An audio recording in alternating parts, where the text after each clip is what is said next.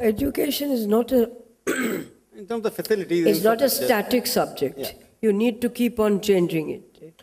And you need to keep on uh, meeting the demands. Like, for instance, today, you have to have basic education, you have to have higher education, but you also have to have education in skills. If the country has to progress uh, and economically, you have to have skills. Now, just for your kind information, uh, the government of Delhi has tied up with the Singapore government, which has a wonderful skill development uh, institution.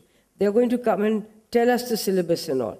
So, education is not just learning the uh, how to read and write, as uh, Advani sir has very, very, very beautifully put it, that it is not just IQ, it's not just EQ, it's also SQ.